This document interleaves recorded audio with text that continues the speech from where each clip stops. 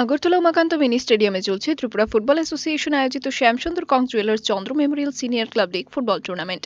টুর্নামেন্টের সূচি অনুযায়ী বৃহস্পতিবার মাঠে নামে এগিয়ে চল সংঘ ও ফ্রেন্ডস ইউনিয়ন। দুই দলেরই ম্যাচে শক্তির বিচারে অনেকটাই এগিয়ে মেলার মাঠের এগিয়ে চল সংঘ পয়েন্টের দিক দিয়েও তারা অনেকটা শীর্ষস্থানে রয়েছে। এই অবস্থায় সুপার লিগ কার্যত নিশ্চিত করতে এদিন ময়দানে নামে বিদেশি সমৃদ্ধ এগিয়ে চলো। নির্ধারিত সময়ের লড়াই এদিন প্রত্যাশিতভাবেই ফ্রেন্ডস ইউনিয়নকে ধরাশায়ী করে সুপার কার্যত নিশ্চিত করলেও দ্বিমুকুট দখলের প্রত্যাশীরা।